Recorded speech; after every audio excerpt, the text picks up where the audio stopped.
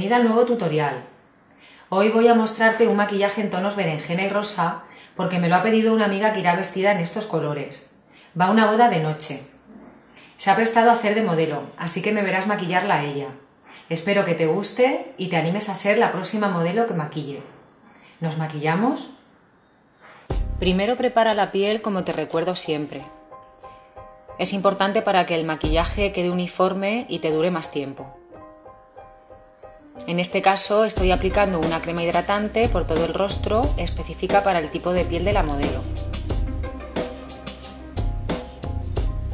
Para preparar la piel también es imprescindible utilizar una crema específica para el contorno de los ojos. En este maquillaje he decidido aplicar una prebase especial antes de maquillar para aportar luminosidad a la piel y para que el maquillaje dure más tiempo. Antes de maquillar los ojos, como siempre, aplica la prebase de sombras.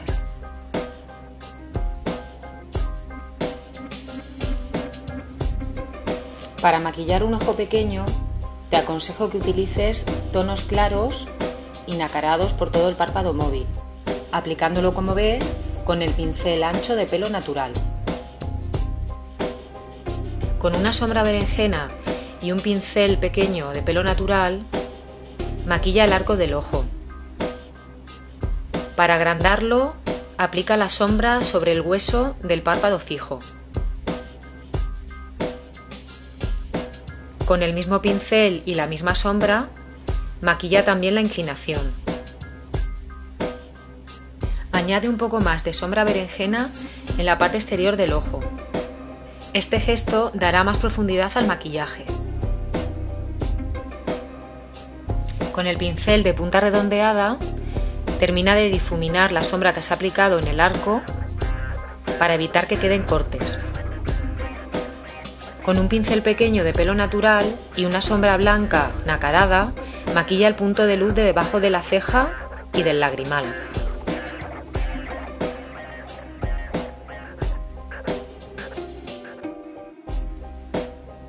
Con el pincel ancho de pelo natural Termina de difuminar las sombras e integrar unos colores con otros.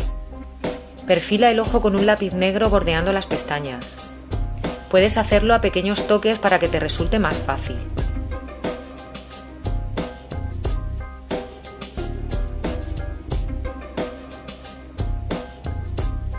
Con el pincel biselado de pelo sintético difumina el lápiz que acabas de aplicar.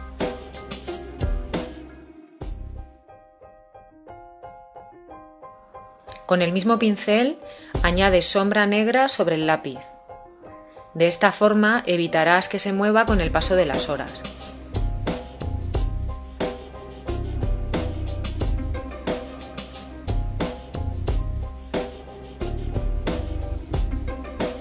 Con un pincel más duro, de pelo natural, añado un poco de sombra negra en la parte exterior del párpado móvil. Cuanta más oscuridad aportemos en esa zona, más profundidad daremos al maquillaje. Con el pincel de punta redondeada, difumina la sombra negra que acabas de aplicar. Utiliza el mismo lápiz para perfilar la parte inferior del ojo. En este caso, al tratarse de un ojo pequeño, solo perfilaremos la parte exterior. Si maquilláramos la parte interior con el lápiz negro, el ojo parecería aún más pequeño. Con un pincel plano y de pelo sintético, difumina el lápiz aplicado sin llegar hasta el lagrimal.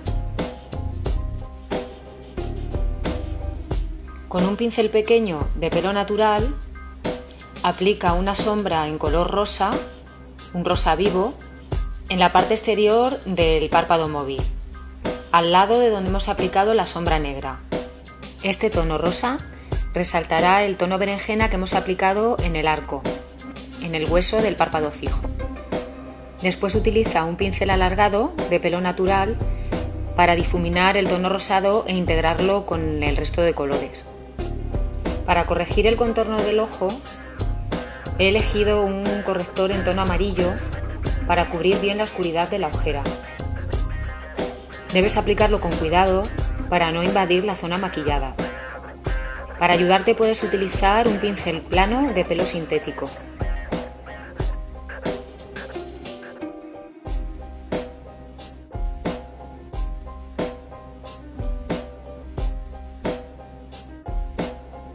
Una vez aplicado el corrector amarillo, maquillo las pestañas con una máscara negra, ultra black, para marcarlas bastante, ya que se trata de un maquillaje de noche. Maquillo tanto las pestañas superiores como las inferiores. Añade también sombra negra sobre el perfilado inferior. De esta forma conseguirás que te dure más tiempo. Para agrandar el ojo es ideal maquillar la línea de agua con un lápiz blanco o de color carne, ya que aporta mucha luminosidad y da la sensación de que agranda. Con el pincel ancho de pelo natural añade un poco más de sombra blanca para que aporte más luz a la mirada. Aplica una base de maquillaje con una textura específica para el tipo de piel y de un tono lo más parecido al tono natural. Para ello puedes utilizar un pincel específico para aplicar bases de maquillaje fluidas de pelo sintético o bien puedes aplicarlo con las manos. Aunque había aplicado un corrector amarillo para neutralizar la oscuridad de la ojera, en este caso también es preciso utilizar un corrector que termine de corregir la imperfección de esa zona y aporte luminosidad. Lo aplicaremos con un pincel pequeño sintético específico para maquillar este tipo de texturas. Inmediatamente después, con polvos translúcidos y un pincel biselado duro, maquilla la parte inferior del perfilado negro. De esta forma evitarás que se mueva con el paso de las horas. Una vez corregido el rostro con la base de maquillaje y el corrector del contorno de los ojos, con una brocha para polvos, maquilla con unos polvos varios tonos más que el tono natural de la piel, debajo del pómulo, debajo justo del hueso y en general la parte exterior del rostro. Con una brocha de corte biselado específica para colorete y un tono rosado, maquilla la parte superior del hueso, justo en el pómulo. Aportarás frescura al maquillaje y deberás difuminarlo después con la brocha en forma de abanico. Maquilla las cejas si fuera necesario o utiliza un fijador transparente para que queden definidas y peinadas. Esto es lo que hago yo en este caso. Hidrata los labios antes de maquillarlos con un bálsamo. Elige una barra de labios de un color que quede en armonía con el maquillaje de los ojos. En este caso no voy a perfilar los labios. Voy a aplicar la barra de labios directamente con el pincel específico, ya que no me interesa que queden demasiado marcados. Este es el resultado final del maquillaje en tonos berenjena, ya que la modelo lucirá un vestido en este color. Si te ha gustado este tutorial, no olvides suscribirte a mi canal de YouTube aquí arriba. Así podrás recibir los últimos vídeos de maquillajes o consejos. Te espero en MGD Makeup.